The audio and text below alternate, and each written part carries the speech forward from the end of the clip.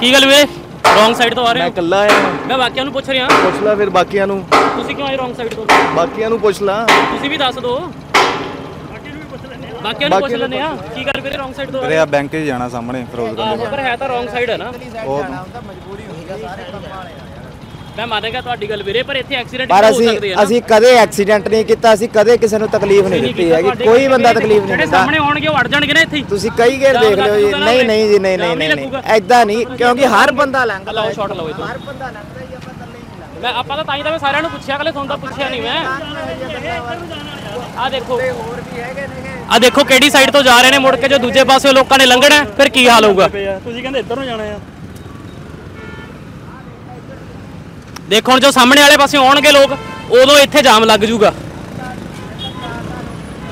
ਲੋਕ ਜਿਹੜਾ ਹੈ ਬਿਲਕੁਲ ਨਹੀਂ ਸਮਝਦੇ, ਫਿਰ ਵੀ ਜਿਹੜਾ ਹੈ ਰੋਂਗ ਸਾਈਡ ਤੋਂ ਹੀ ਆਣਾ ਹੁੰਦਾ ਇਹਨਾਂ ਨੇ। ਜਿਹੜੇ ਰਾਈਟ ਸਾਈਡ ਤੋਂ ਸਹੀ ਆਪਣੇ ਵਾਲੇ ਪਾਸਿਓਂ ਆ ਰਹੇ ਨੇ, ਉਹਨਾਂ ਲੋਕਾਂ ਨੂੰ ਤਕਲੀਫ ਹੁੰਦੀ ਹੈ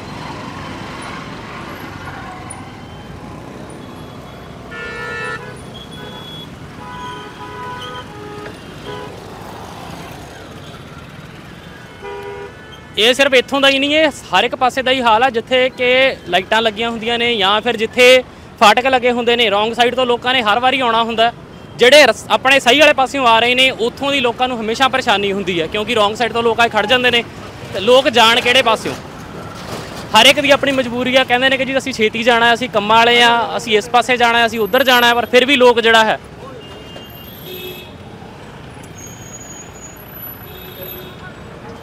ਦੂਜੇ ਪਾਸੇ ਦੇਖੀ ਜਾਵੇ ਤਾਂ ਦੇਖੋ ਇੱਕ ਵਾਰੀ ਹੋਰ ਬੰਦਾ ਜਿਹੜਾ ਰੋਂਗ ਸਾਈਡ ਤੋਂ ਆ ਰਿਹਾ ਹੁਣ ਇੱਥੋਂ ਦੀ ਵਾਪਸ ਮੁੜਿਆ।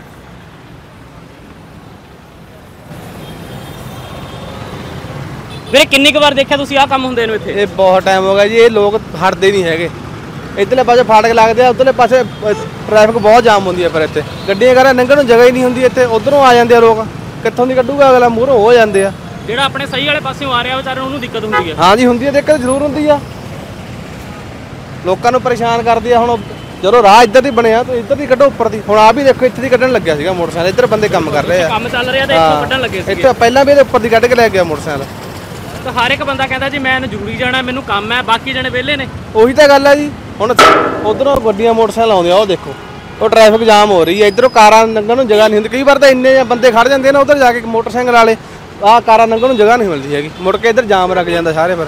ਉਹ ਪਿੱਛੇ ਤੱਕ ਜਾਮ ਲੱਗ ਜਾਂਦਾ, ਦੇਖ ਲਓ ਤੁਸੀਂ, ਉਧਰ ਵੀ ਮਗਰ ਚੌਂਕ ਆ ਨਾ, ਉਧਰ ਪਿੱਛੇ ਤੱਕ ਮੋ- ਜਾਮ ਲੱਗ ਜਾਂਦਾ ਪੂਰਾ। ਤਾਂ ਤੁਸੀਂ ਦੇਖ ਸਕਦੇ ਹੋ ਕਿਸ ਤਰੀਕੇ ਨਾਲ ਲੋਕ ਜਿਹੜਾ ਹਜੇ ਵੀ ਫਾਟਕ ਖੁੱਲਣ ਤੋਂ ਬਾਅਦ ਵੀ ਜਿਹੜਾ ਹੈ ਰੋਂਗ ਸਾਈਡ ਤੋਂ ਕੱਢੀ ਜਾ ਰਹੇ ਨੇ। ਕਿਸੇ ਨੂੰ ਕੋਈ ਸ਼ਰਮ ਨਹੀਂ, ਕੋਈ ਰੂਲਸ ਦਾ ਕੁਝ ਲੈਣਾ ਦੇਣਾ ਨਹੀਂ।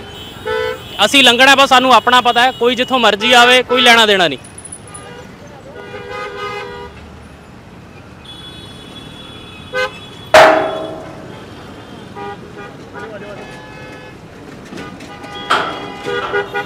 ਖੜ ਜਾ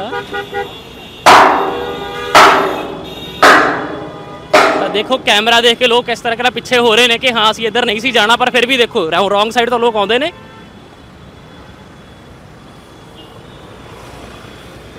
ਇਹ ਪ੍ਰਸ਼ਾਸਨ ਨੂੰ ਚਾਹੀਦਾ ਹੈ ਕਿ ਇਹਨਾਂ ਤੇ ਕੋਈ ਕਾਰਵਾਈ ਕੀਤੀ ਜਾਵੇ, ਪਰ ਫਿਰ ਵੀ ਜਿਹੜਾ ਹੈ, ਬਹੁਤ ਵਾਰੀ ਇਦਾਂ ਦੇ ਲੋਕਾਂ ਕਰਕੇ ਜਿਹੜਾ ਨੁਕਸਾਨ ਹੁੰਦਾ ਲੋਕ ਆਪ ਸਮਝਦੇ ਸਮਝਦੇ ਨਹੀਂ। ਸਮਝਦਾਰ ਲੋਕ ਨੇ ਟ੍ਰੈਫਿਕ ਤੇ ਜਿਹੜਾ ਹੈ ਉਹ ਦਿੱਕਤ ਆਉਂਦੀ ਹੈ ਲੋਕਾਂ ਨੂੰ, ਪਰ ਫਿਰ ਵੀ ਨਹੀਂ ਸਮਝਦੇ ਹੈਗੇ ਇਸ ਚੀਜ਼ ਨੂੰ।